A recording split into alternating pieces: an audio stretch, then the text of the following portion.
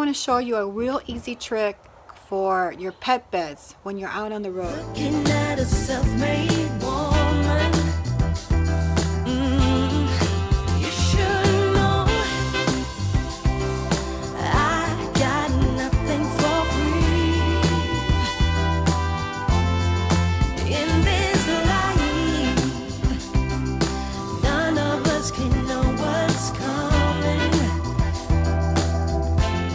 Bed like this, dog bed like this, these are big and bulky and they don't have removable covers. And the problem with something like this is sometimes they break. Like this one is Sasha's and you can see it has a hole in it. If I were to throw this in the washing machine right now, a lot of that stuffing that's inside of this bed would probably fall out. So I've come up with an easy no-sew cover for this problem. If you're on the road and you want to be able to go for a longer time with your pet bed, because these are really cumbersome to find a machine that takes them. This is a smaller size, but if you have a bigger dog, I mean, it's kind of costs you a lot of money. It's cumbersome and they do get smelly. So my idea is to do a no-sew cover for these beds. And if you're lucky, depending on the size of your bed, you might even be able to get two covers with my idea. First thing we're going to do is we're going to have a twin size sheet.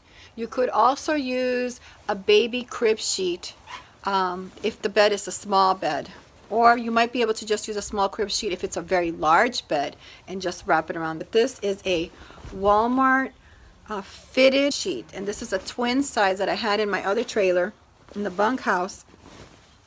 And you can see that it's got an elastic. This kind has the elastic that goes all the way around. You want to make sure it has elastic all the way around because if not, you're going to be tying this a lot. So what we're going to want to do is you're going to want to take the sheet and find the corners of the sheet. Here they are right here. Okay, these are the these are the two corners of the sheet and that's where the seam is. And that's what the other seam. And then what I do is I take my bed and I wrap it around that. Make sure you get all the way in the bottom to the bed. Okay, this is going to be your bed cover. It's going to fit like this. When you need to wash the bed, you're just going to take the cover off and you can put another one because you can get on a twin size, you can get two with this idea, you can get two, so you can have alternate. When you're washing one, you have another one. What I'm going to do now is I pretty much have estimated that I'm going to cut this sheet. You want to make it a lot longer than what it is. So I'm going to cut it probably, so here's the end of the bed. And I'm going to do about that much space. I'm going to cut it there.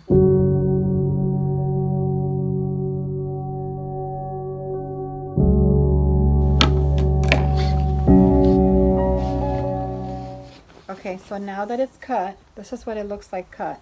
Now I can go back and put it back on the bed again.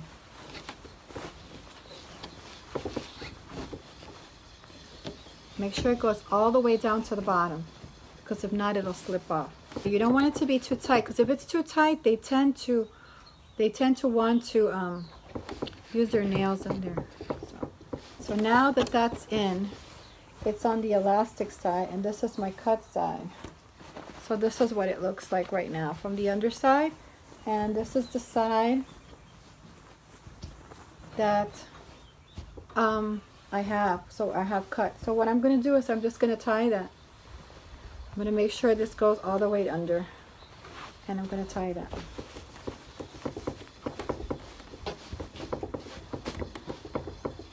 I don't want it to be too tight. I want it to be kind of loose because there it is. There's a knot right there. You can tuck the knot under. Nobody has to see it. You can put it against a wall. I mean it just if you make it like this pretty um, bunchy like that it doesn't really look bad. You could decorate it if you wanted to. If you wanted to show it there put a bow on it or something it was all be pretty pretty also if you wanted to do that. Um, but this is an easy way to do a cover for your dog's bed this is what it looks like from the top looking down. As you can see, Sasha will have no problem getting into that bed. And what I like about this is that you can get them at the thrift store and you can get any color. If you change your decorating colors for the winter as you do in the summer, you can change. It's really easy to change this and it'll still look nice in your RV because you can adapt it. In the colder climates, you can actually use a flannel sheet for your dog. If your dog is cold like a Chihuahua, it's as long as they have the elastic all the way around, you'll be able to do this idea. And as you can see, this size bed, I was able to have um, this much left over. So I have way more than enough for another bed. See that? That's a lot. That's a lot. I have a lot left right here. So I'm going to go ahead and make another one with this. And this way I don't have to keep buying the beds and um, I could just buy the cover. So these are about, um, I think about $4 for a twin sheet at Walmart. So it's just easier for me to replace. I can get two out of these. When she breaks one, I could toss that out and I still have another one left over. The pet bed. Ta-da! That's the pet bed. Here are some things that I keep in my car for my pets. One, I keep a portable vacuum. I keep a leash stake so they can sit outside at our campsite. I use old towels in the same color of my seats to keep my seats clean.